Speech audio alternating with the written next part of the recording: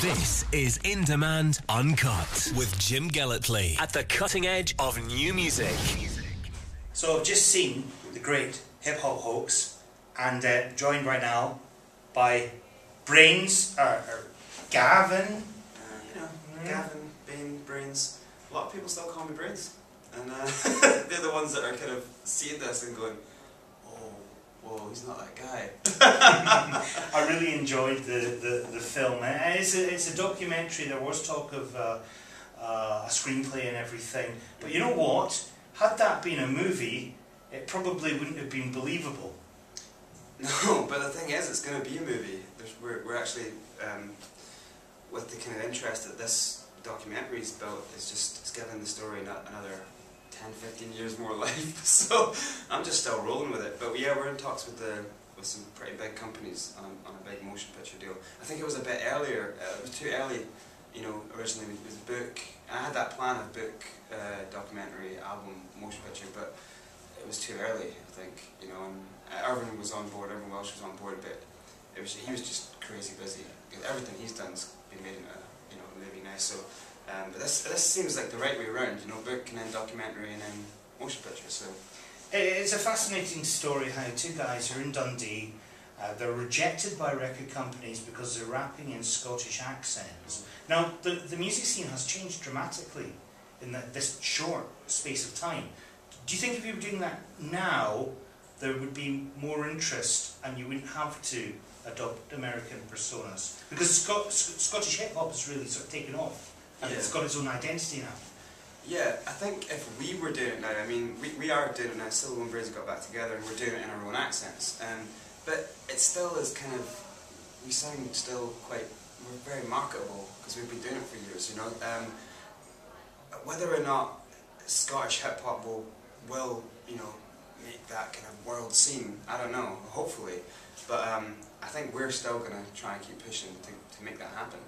We can make, we're, we're now setting all these other goals, and if we can make it in the States, with this record, with this film, then who knows how many other artists can come through, you know? And I think Americans and I think the other markets actually like Scotland a lot. So it just takes someone willing to go out there and do these crazy things and market themselves to break, you know, and then everyone will be looking like Dizzee Rascal did for London scene. I don't want to give too much away about the documentary, uh, but but it does end on a sort of low, or, or not not a low because like Bi- Billy's found what you know family life and things, Yeah. and and you're doing your sort of rock thing. Yeah. Um, but it was very much a case of y- y- you were separate Yeah. from each other. Um, ha- has this movie brought you together again? It did, in a, in a really weird, uh, therapeutic, odd way, you know. I mean, we Because this is this is a classic case of two best mates yeah. falling out majorly, isn't it? Yeah, we had some. We had a, that last big fight we had. Uh, that was it, you know.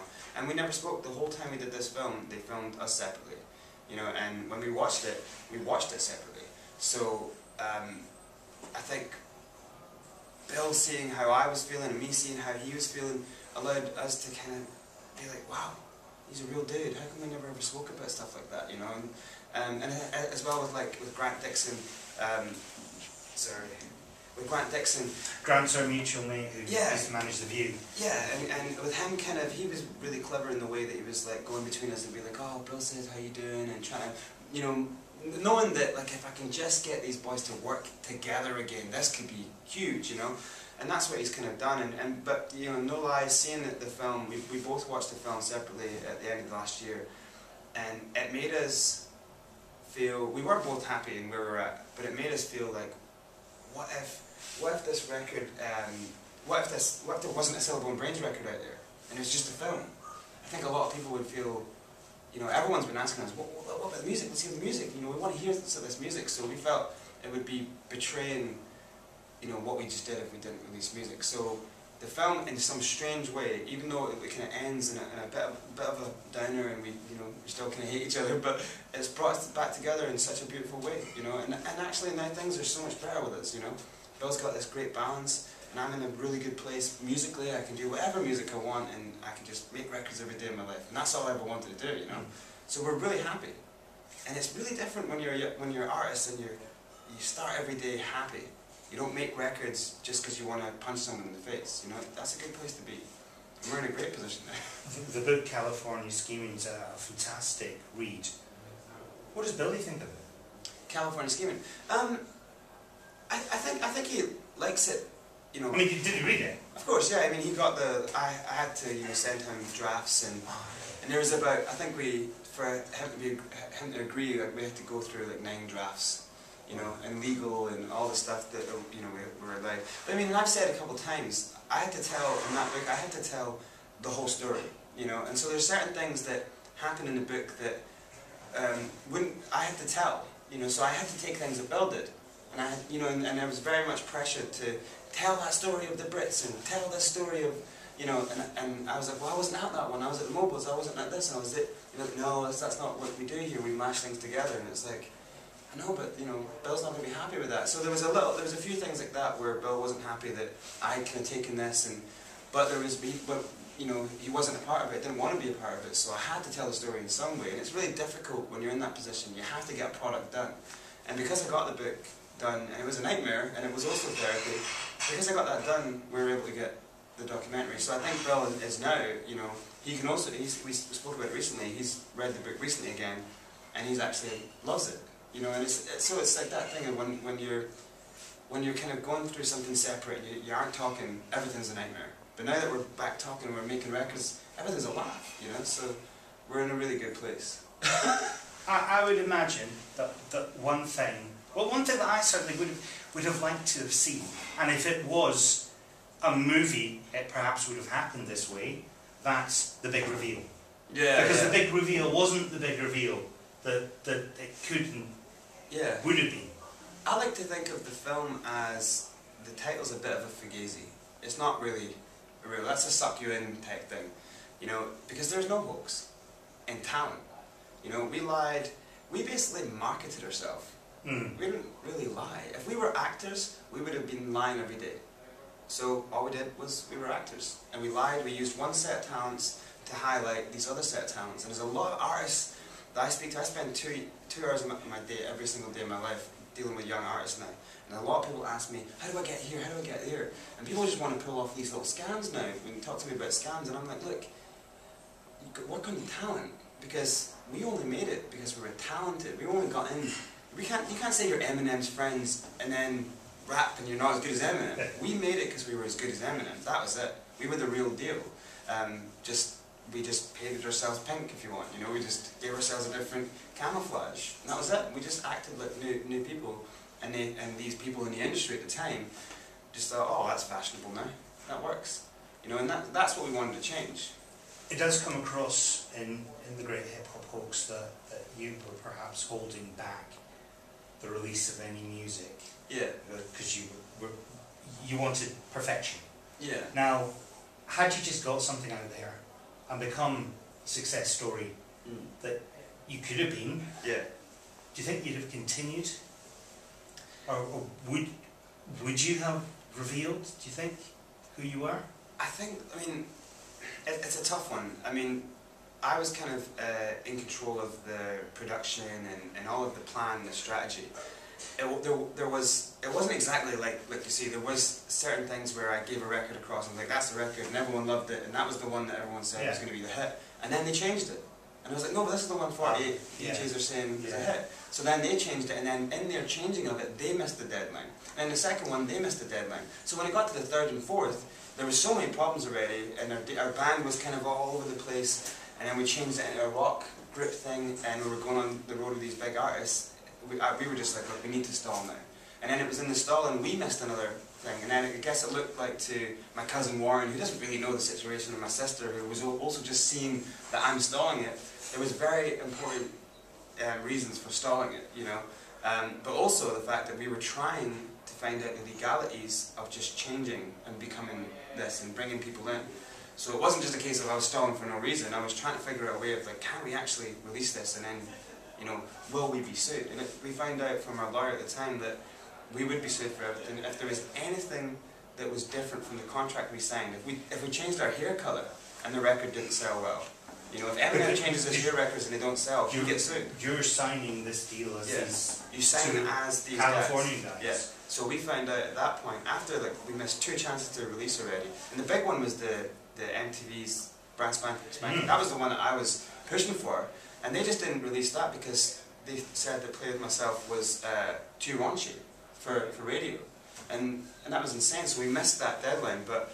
Um, yeah, then we found out that we like actually we could get sued badly here, and we'd spent all the money. So, so it wasn't just a case of like there's Gav going. I was thinking, man, we need to stretch this. We need to come up with a new plan because if we release now, we are going to get sued for all the money. And I knew for a fact it was going to all come down mostly on my head, and it would all have been my fault. So I, that was the kind of most of the reason for stalling. But eventually, we, Bill and I um, did come to the point where we were like, yeah, this is the record. Do whatever you want with it. But at that point was just that's when we had to go in and we had to win over the new um, CEO, the new MD, and that's where it was like, Yeah, there were major major redundancies at the label Yeah. and uh, a lot of people laid off. But, yeah. But still at that and bands as well sort of dropped. but still at that point, Silibil Brains were never dropped.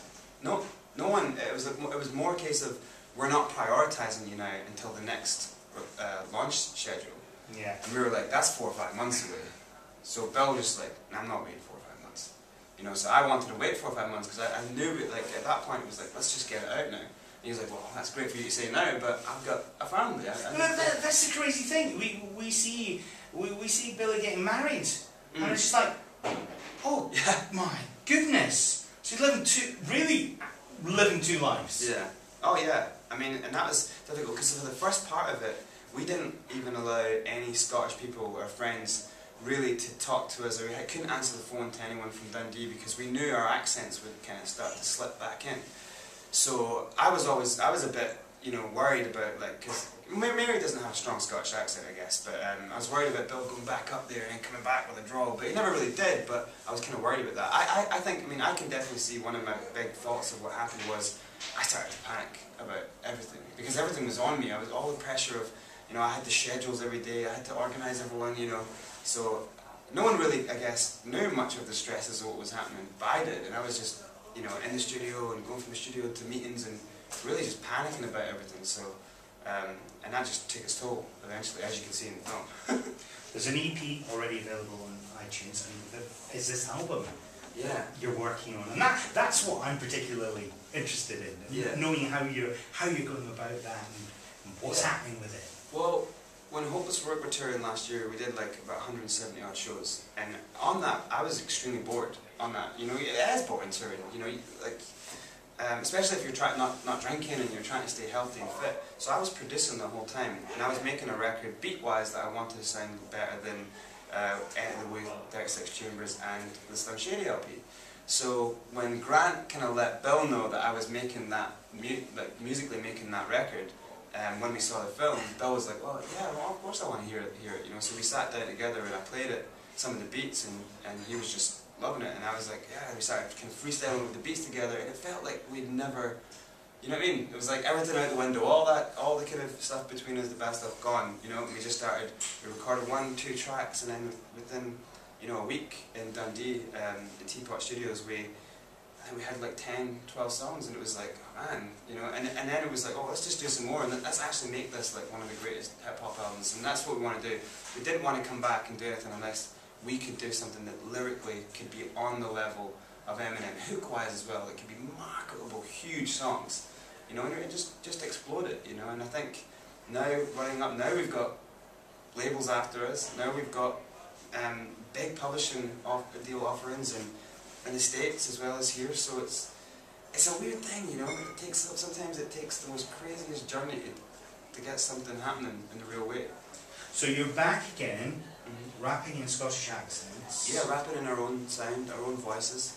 Um, and, that, and, and there's, on this EP, you can actually hear two tracks that we did that were our, our fans that we had at the time, their favourite tracks. So we put them on the EP, and then there's three new tracks. So you can hear the difference in the voice. Mm. It's quite evident, but it doesn't make you, when you hear the Scottish, you kind of go, what most people are kind of saying is, well, that actually does sound a little bit, it doesn't sound so far removed from the American voice, it just sounds like a more original sounding American. You know, if you were like listening, listening as a, as a rap fan, you wouldn't go, oh, that's crap, you know, that's, that's from another country. You would just go, sounds a bit of an odd American accent, you know? Because that's the, that's the crazy thing, and, and not something that I'd thought about before. The, the music, when you switched from being uh, two lads who are in Dundee to being from California, it was the same songs, it was the same lyrics, you just changed the accents. Yeah, and that's the thing that really. It shouldn't work. Uh, yeah, and, and there was there was obviously some words we had to change because they don't rhyme. Yeah.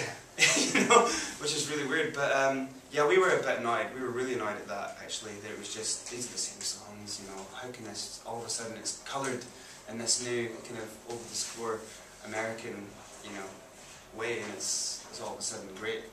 You know. Um, and it, it, even the first thing that happened was winning a 1Xtra competition. And then um, it was Jo Whiley that played one of our tracks for a week. And that track was one of the tracks that we did in the audition. And it's like laughed at as Scottish, but then we did put the American accent on and it's won a competition and it's getting week-long Radio 1 plays. Like, this is mental, you know? But then you think of it, it's not mental, it's just marketing. You know, and we and that's the thing when you're a when you're an upcoming artist or you're a signed artist, you get your hair styled, they write your songs for you, you know, you do what they say, and if you don't, you're in trouble. If you don't uh, have your record selling, you know, making that quota, then in two years' time, you're going to have to sleep with someone more famous than you to stay in the public eye. Silibil Brains, we produced every beat. We did our own everything style, and we made everything ourselves. No one controlled anything over us. We did it all ourselves. So when people talk about keeping it real, we kind of kept it real a little bit more. You know, that, that idea of keep it real is insane. You know, like rappers shoot these videos and they got the big cars and they got the girls that they don't know and they hire the mansions and then afterwards they go home and kiss their moms goodnight. It's bogus, you know, and I think that's a good thing that we can say and we're quite proud to say that keep it real is, is, is built.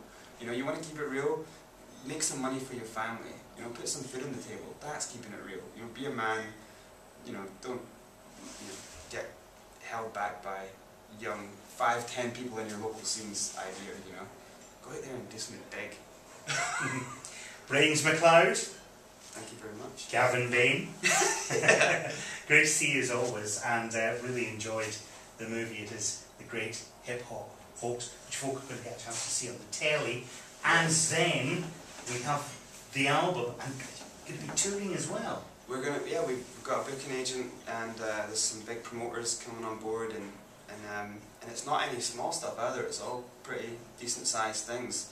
And then obviously the festivals next year, and they're all everything's just lining up. I mean, we're really stoked about it. But I can't wait for the album. The the, the TV screenings are going to be well. I think BBC Scotland is going to be the seventh of October, um, and then BBC Two uh, everywhere else on the fourteenth. And around about that time, we're going to um, put a few more little records out, um, and then drop the drop the album and uh, see, see what happens, see the reaction. We got lots of uh, really crazy, shocking music videos coming as well. In demand, uncut.